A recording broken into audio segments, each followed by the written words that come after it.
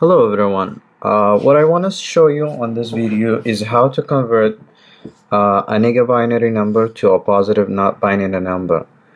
Uh, the negative binary number it's with the radix negative radix like the base of it is negative 2 not the not not as the usual binary number which is positive 2 let's say we have this number 0 0 0 1 1 1 1 1 0 0 1 0 1 1 0 1 however this number is radix negative 2 and you want to convert it to radix positive 2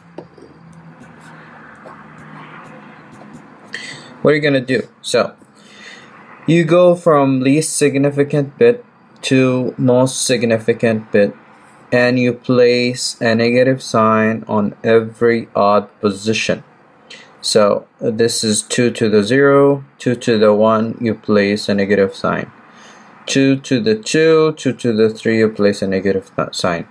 2 to the 4 5 6 7 8 9 10 11 12 13 14 15 why did I place this negative sign?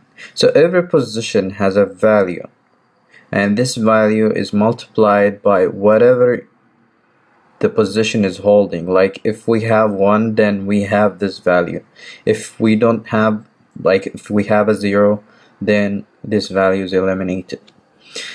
So we go from least significant bit to most significant bit and then we add the values. So this value is 2 to the 0.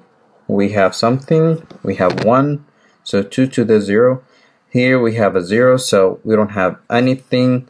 So the second one, this is 2 to the 1, 2 to, to the 2 to the 2, 2 to the 3, 4, five, six, seven, eight, nine, ten, eleven, twelve, and so on. So we already uh, save this values here, this value here, and then we sub we add 2 to the 2 and then we subtract because we have a negative sign 2 to the 3 and then we subtract 2 to the 5 we add we skip all these because we have 0 we add 2 to the 8 and we subtract 2 to the 9 we add 2 to the 10 we subtract 2 to the 11 and then we add 2 to the 12 I'm not gonna be able to add all these values by paper so I'm gonna use my calculator. So when I added all the values I have this number 2781 2781 so this is a decimal base 10.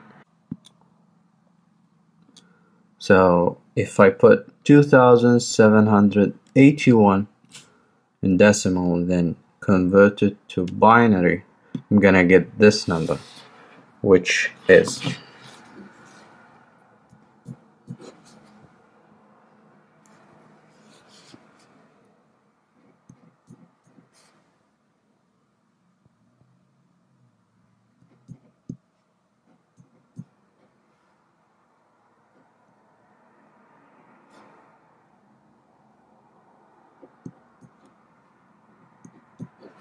and this is gonna be base 2